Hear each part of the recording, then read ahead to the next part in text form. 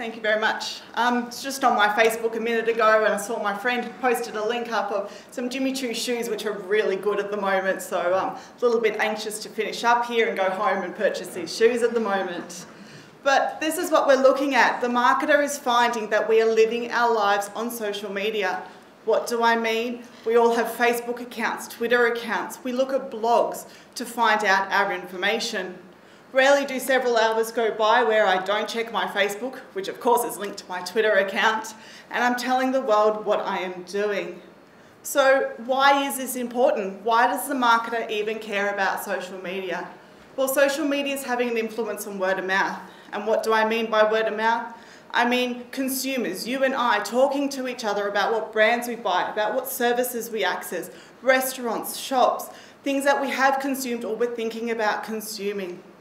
So, you know, we're sitting in a coffee shop, there we are, there's a lull in the conversation, what do we do? We pull out our phone, of course it's an iPhone, and we immediately update the, our status as to where we are, who we're with. Whether we know it or not, we are participating in social media. We're participating in word of mouth via social media. So why does the marketer need to concern themselves about this and what are they going to do about it? Well, the marketer first needs to understand what is word of mouth in this social media context. How do we define what this actually is?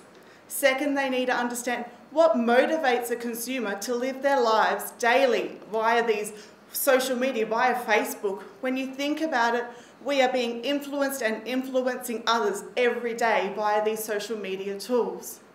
As well as the marketer needs to understand What's the lingo? How do we actually participate on social media? What words do we use? What emoticons, exclamation marks, what do we do to get our message across to the other consumer? So how do they do this?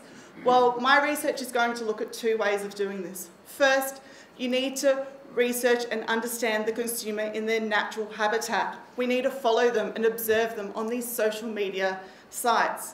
And secondly, we need to talk to them. We need to ask them what motivates them to participate and post up on social media. And through this, we will then have an understanding and the marketer can become part of the playing field.